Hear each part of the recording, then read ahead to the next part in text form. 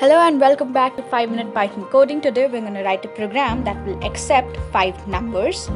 The program should stop if a negative number is entered and also the program will print the count of numbers entered. So let's start writing a program. I'll take a variable which will be initialized to 0 count.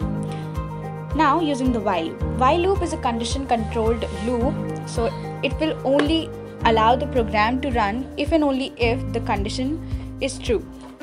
So I'll write the condition in brackets count less than 5 colon num is equals to int bracket input. So I'm taking the input from the user into the variable num and if a condition statement bracket num is less than 0 colon break.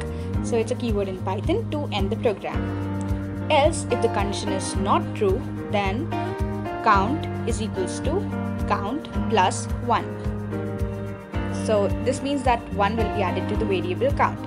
Now at last we'll print bracket count of positive numbers